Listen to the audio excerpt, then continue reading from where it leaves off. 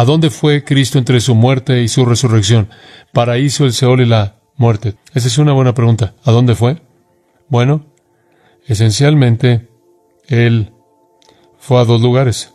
Su cuerpo estuvo en la cruz y después en la tumba. Entonces su cuerpo sabemos exactamente en dónde estaba. En la cruz fue quitado y fue envuelto y colocado en la tumba. Pero ¿dónde estaba Él? Él no estaba muerto, Él estaba vivo, Él está vivo. Dos cosas sucedieron. Él se apareció en el infierno. Sabemos eso. Porque Él proclamó su triunfo sobre los demonios que estaban con una fiesta. Satanás pensó que había ganado los demonios en el infierno. Pensaron que Él había derrotado al Hijo de Dios.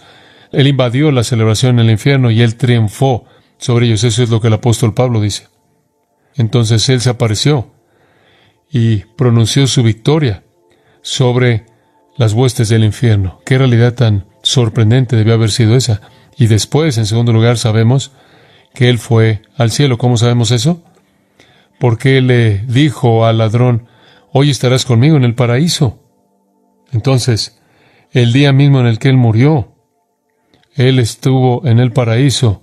¿Y dónde está el paraíso? es simplemente el término para hablar del cielo. Él estuvo con ese ladrón también en el cielo. Entonces, esas horas, en, mientras que su cuerpo estuvo muerto, él anunció su triunfo en el infierno y se reunió con ese ladrón en el cielo. Esos son mencionados de manera específica en la palabra de Dios. Él es tanto el Señor de el cielo como el Señor del infierno.